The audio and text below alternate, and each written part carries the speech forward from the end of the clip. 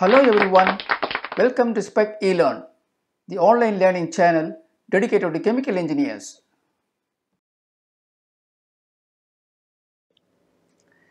Deaerators Understanding the Principles and Design Considerations.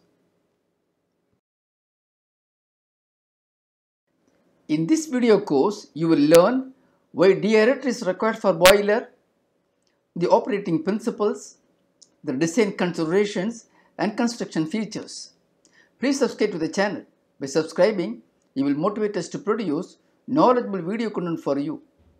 So subscribe now before you forget. Deaerator is an important equipment in boiler system in process industries and several other industries including power plant.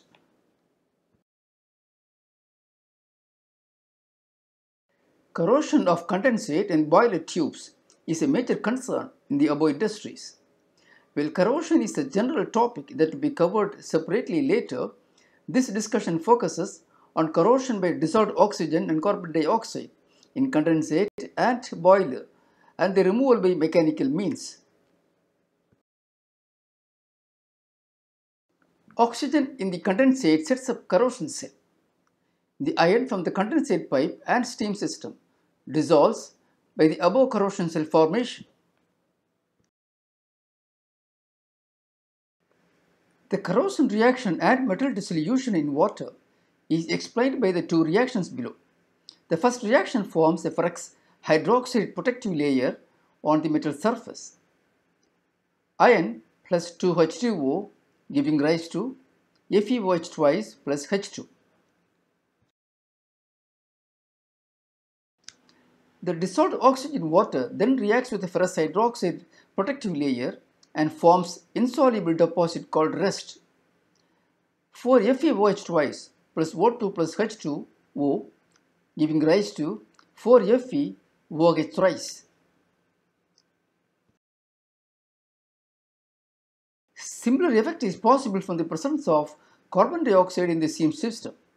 When the steam containing CO2 starts to condense in the heat transfer equipment, the CO2 dissolves the condensate forming carbonic acid.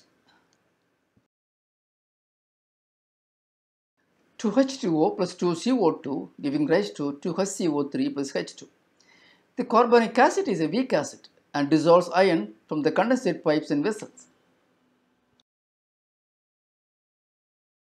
Effect of corrosion products. Having understood how dissolved oxygen and carbon dioxide in condensate system and make up boiler feed water causes corrosion, let us move on to find out how it impacts the boiler tubes.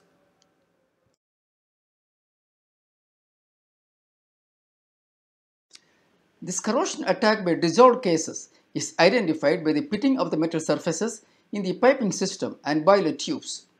The iron dissolved from the condensate piping when reaches the boiler can deposit in the high heat flux areas in the boiler that is the tubes. The deposit acts as an insulation layer on the tube surface minimizing heat transfer that leads to excessive surface temperature.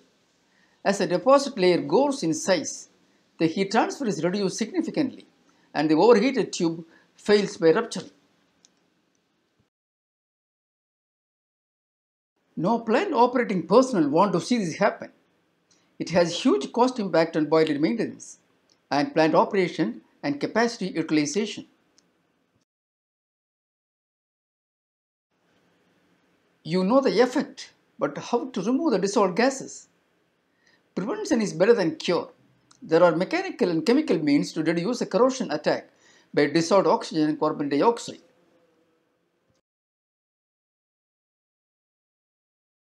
Chemical means will be covered separately.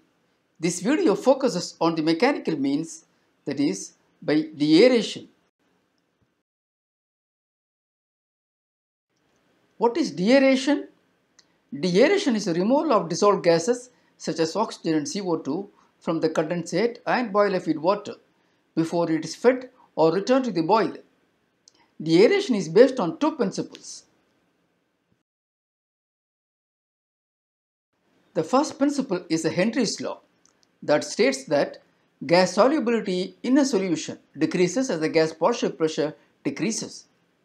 The second principle is that the gas solubility in a solution decreases as the temperature increases and as it approaches the saturation temperature, that is the boiling point. How do you apply these principles in the deaerator to remove the dissolved gases?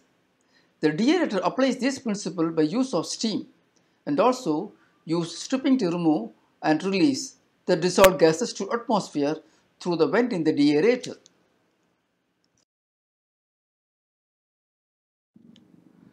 Shown in the figure below is the design and construction features of deaerator system.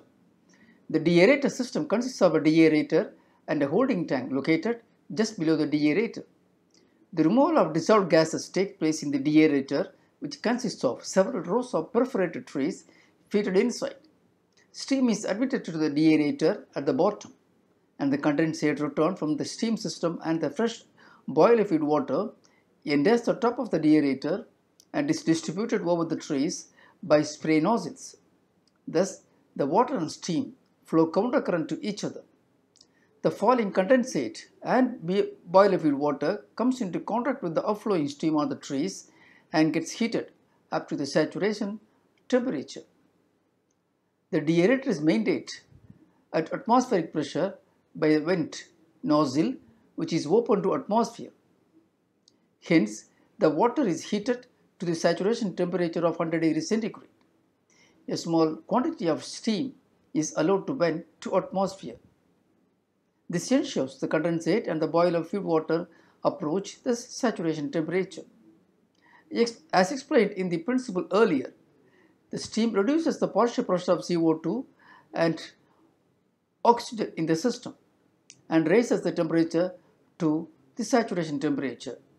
The net effect is the reduction of gas solubility in water and hence lower residual gas concentration in the boiler feed water to the boiler.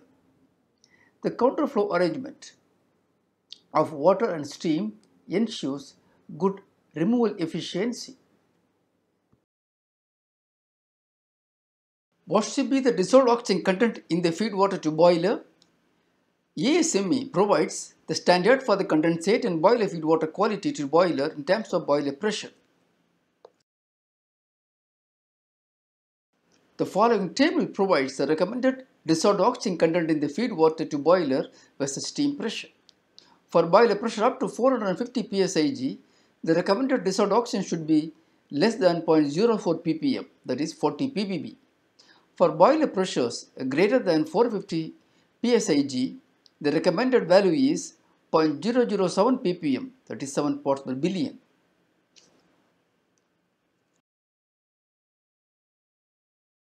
Deaerator design aspects.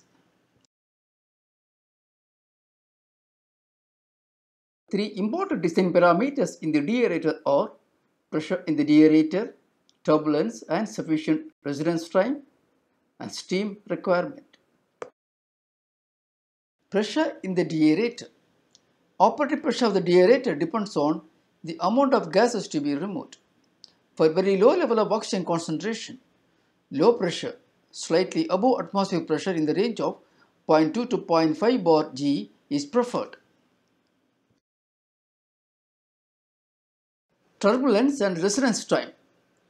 Turbulence helps in breaking the surface tension of water and aids in release of the gases. The residence time must be sufficient enough to shift the gases of water. Perforated tray section provides a turbulence as the steam passes up through the perforations. The number of trays is selected so as to give sufficient residence time. Steam requirement. The quantity of steam required depends on the ratio of the boiler feed water makeup and the condensate returned. Higher the boiler feed water makeup, larger the quantity of steam needed. As explained before, the steam is needed to heat the condensate plus makeup water to the saturation temperature in the deaerator vessel. In addition, small quantity of steam is required to physically strip the gases and release them to atmosphere through the vent. Most of the steam admitted to the deaerator condenses on the trays. a small fraction of steam is lost with the dissolved gases in the vent. Steam requirement can be obtained by making a steam balance by specifying the condensate and makeup water temperature and ratio of makeup water to condensate return. If the deaerator system receives a return condensate at high pressure, then it will generate some quantity of flash steam. The flash steam generated should be subtracted and the steam that is lost with non-condensables in the vent should be added.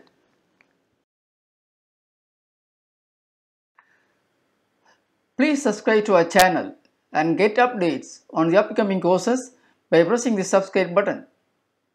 It will motivate us to produce free knowledge-rich video content for you.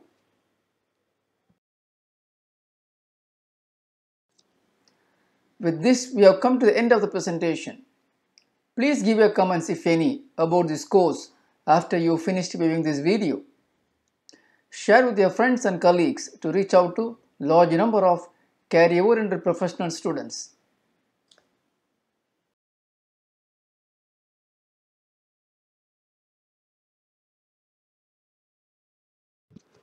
Thank you for watching.